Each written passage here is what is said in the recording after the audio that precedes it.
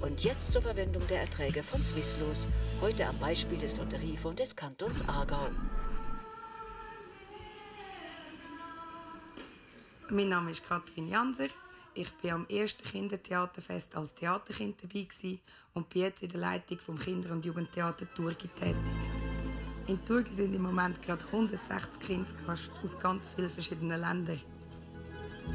Theaterkinder leben meistens zu zweit zusammen in einer Schweizer Gastfamilie. Ich komme aus Russland, aus der Stadt Solikamsk. Ich wohne in Schweizer Familie. Es gefällt mir sehr. I'm Michael from England and everything is mega les. Die kommen hier und führen einander Theater vorführen.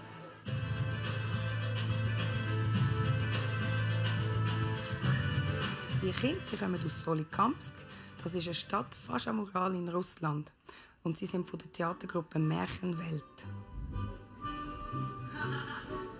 In diesem Stück geht es um die Ivan, einen russischen Bub aus ärmlichen Verhältnissen. Er macht sich auf die Suche nach dem Glück. Und natürlich trifft er auch auf die Prinzessin.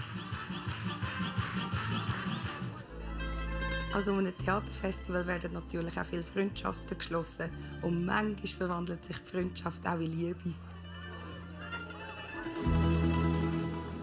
Dank Swisslos haben wir das tolle Theaterfestival auf die Beine stellen und den Kindern die Plattform bieten, um neue Freundschaften zu schliessen und Kulturen kennenzulernen.